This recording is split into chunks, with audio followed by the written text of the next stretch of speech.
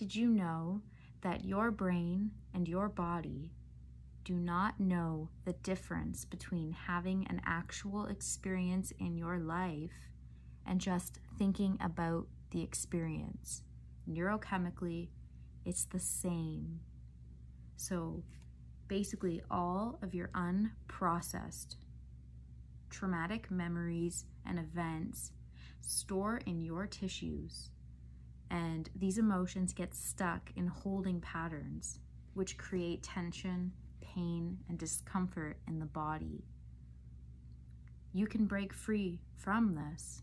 You really can by welcoming in, inviting in, allowing yourself to feel and to process what's going on in there. Lean in and truly connect and this may not feel very comfortable at first, but it will get better.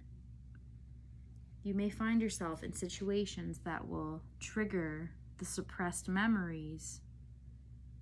You may start to feel something, but naturally you hold on to it and stuff it down rather than let it go. So, by allowing yourself to come back in and to feel and to connect, you can then let it go. And with time and practice, you will feel free to be whatever you want.